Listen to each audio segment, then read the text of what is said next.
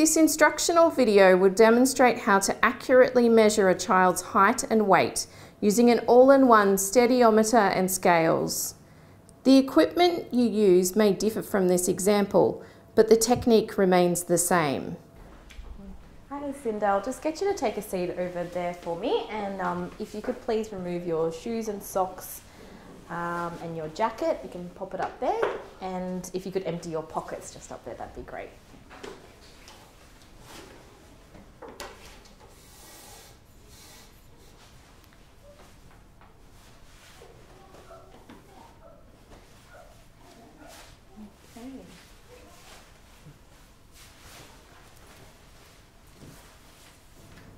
Before the child stands on the scales, adjust the height stick to be just above the height of the child. Turn on the equipment. The scales are ready to use when they display 0, 0. To measure weight, ask the child to stand in the middle of the scales and look straight ahead and stand still. Check the child is not holding onto a wall or a table and that their arms are by their side. Wait until the scales settle at a reading. They may beep. Then record weight to the nearest 100 grams. To measure height, the child should stand barefoot with their heels together, legs straight and shoulders relaxed. Heels, buttocks, and if possible, the scapula should be against the height stick.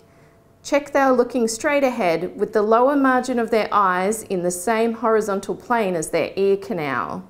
Take a breath in for me and out and just relax with your arms relaxed.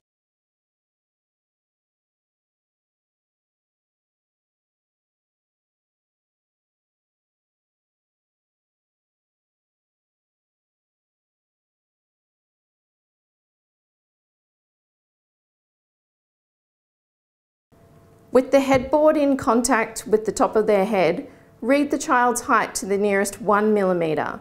For taller children, read the red line on the height stick. For smaller children, read off the bottom of the headboard. That's perfect. Okay, good. All right, I'll just get you to step off the scales there. And you can pop your shoes um, and socks back on. Yep. Record and plot the results on the appropriate BMI for age and sex chart. You can use the BMI calculator on the scales, paper charts, those in your clinical software or the Healthy Weight for Kids calculator.